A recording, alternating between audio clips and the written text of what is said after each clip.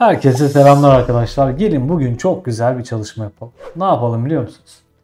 PowerShell'i çok uzun senelerdir kullanıyoruz. Ama son dönemlerde özellikle nano serverların ve server core işletim sistemlerinin gelmesiyle birlikte PowerShell daha da güçlü hale geldi. Bizim aslında PowerShell'de çalıştırdığımız bir sürü komut var. Bunlardan bazıları da troubleshooting komutları. Biz günlük hayatımızda ne yapıyoruz sistem yöneticileri olarak? Örneğin benim bilgisayarımın bağlı olduğu, internete bağlı olduğu IP'ler ve portlar var ya da arka planda internet üzerindeki çeşitli IP'ler ve portlarla konuşuyor. Ben bugüne kadar bunu neyle kontrol ediyordum? Netstat'la kontrol ediyordum. Netstat en yazdığımda gidiyordu Windows arka planda benim bilgisayarımın bağlı olduğu portları, bilgisayarımın bağlı olduğu IP'leri bana gösteriyordu ve bunları established yani listen mı established mi buna göre listeliyordu. Şimdi PowerShell'de işler biraz daha ilgi çekici hale geldi. Gelin PowerShell'de bu işleri nasıl yapıyoruz birlikte bakalım.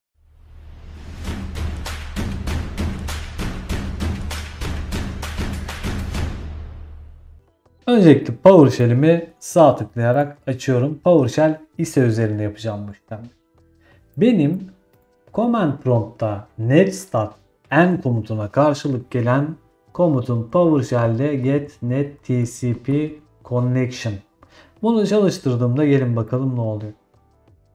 Bunu çalıştırdığımda aynen netstat'ta olduğu gibi birçok IP'ye birçok porta nereden bağlı olduğunu görüyorum. Bunların bazıları timeout olmuş. Şimdi gelin ben kodumu şu şekilde düzenleyeyim.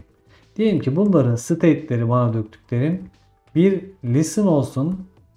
İkincisi established olanlara getir. Şimdi tekrar çalıştırıyorum komutumu.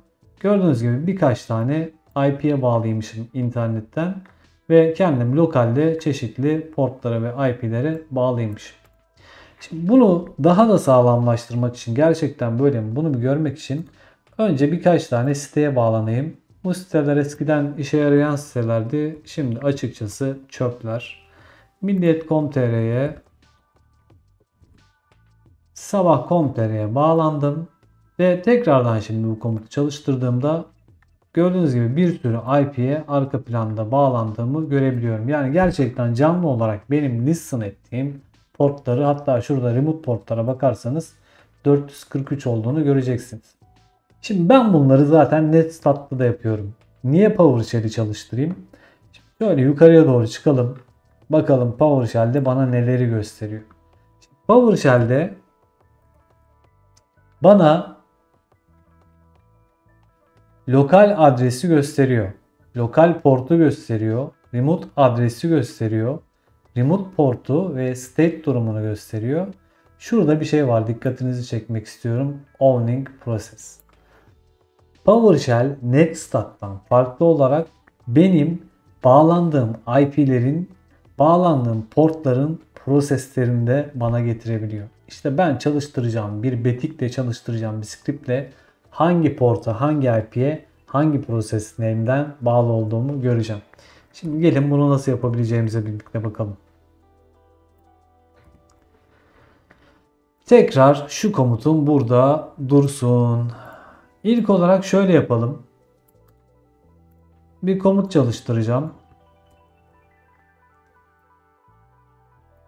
PowerShell kullanmayı bilmiyorsanız ya da daha önce çok fazla tecrübeniz yoksa şuradaki Run Selection'a bastığımda bunun kısa yol tuşu F8'dir. Gidip sadece buradaki komutu çalıştırır. Yukarıdakini çalıştırmaz.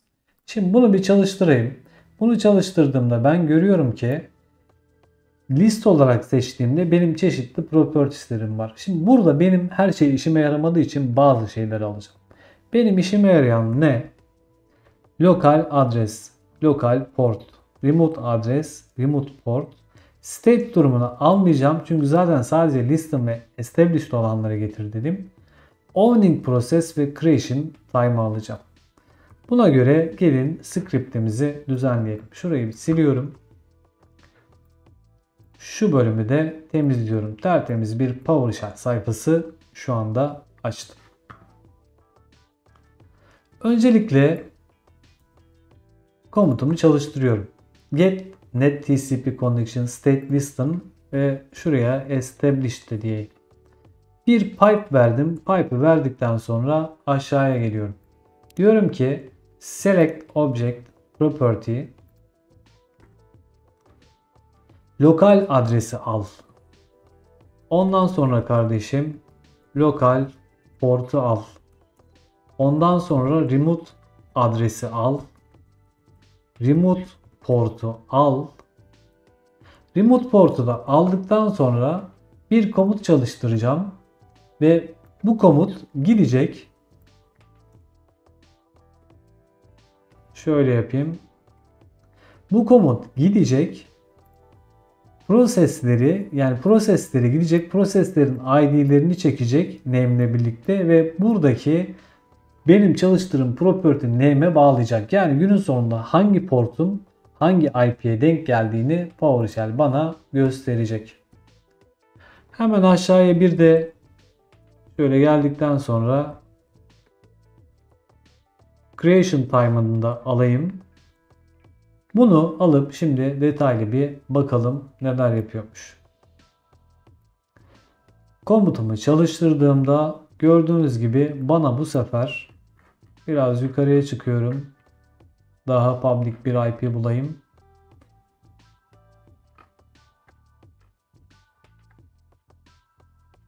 Evet şurada public bir IP gördüm. Lokal adresim benim bilgisayarımın IP'si. Lokal portum herhangi bir port olabilir. 65.000'e doğru giden. Remote adres gördüğünüz gibi 83, 66, 162, 36 ve 443 portundan bağlı ve bu uygulamanın prosesi Chrome. Yani benim bağlı olduğum IP'ye, bağlı olduğum porta Chrome'dan gittiğimi ve hangi tarihte gittiğimi görebiliyorum. Hatta gelin bu komutu biraz daha şöyle okunaklı hale getirelim. Format table bunu da diyorum auto size etsen en düzgün hale getir. Tekrar komutumu çalıştırdığımda tablo olarak görüyorum. Ve şöyle yukarıya çıktığımda bu sefer daha düzgün bir halde benim hangi porttan hangi IP'ye gittiğimi ve hangi prosesin bu işlemi kullandığını ne zaman tek tek görebiliyorum arkadaşlar.